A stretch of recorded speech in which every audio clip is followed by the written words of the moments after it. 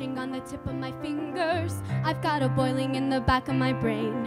Ah, there's a hunger burning inside me, cannot be denied.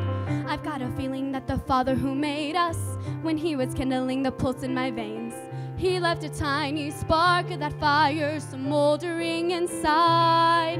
The spark of creation is burning bright within me. The spark of creation is blazing in my blood.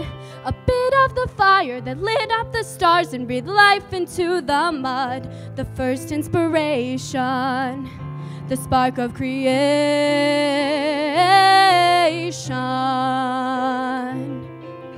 I see a mountain and I wanna climb it. I see a river and I wanna leave shore. Where there was nothing, let there be something, something made by me.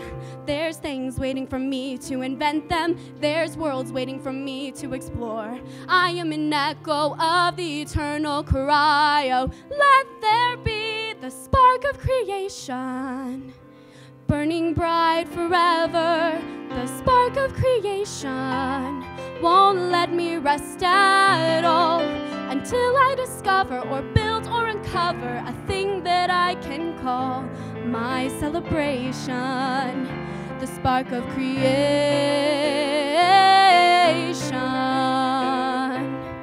The spark of creation.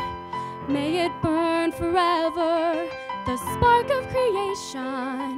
I am the keeper of the flame. We think all we want is a lifetime of pleasure, each perfect day the same.